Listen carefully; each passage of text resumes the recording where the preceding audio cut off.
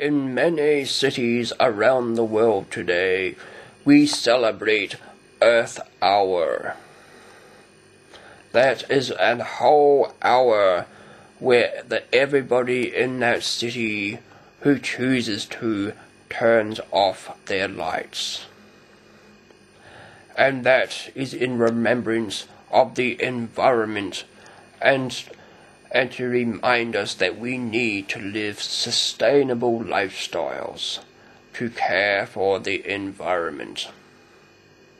And it is up to each of us to be responsible for the environment and to make sure that we are living sustainable lives, even though we may be very successful.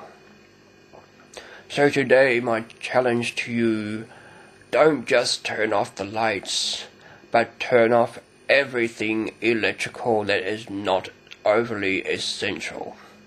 So turn off your lights, your computer, and any other electrical appliances that, that isn't too essential and turn it off for all of this evening. Let's go one step further. This is the Successmeister. Thank you.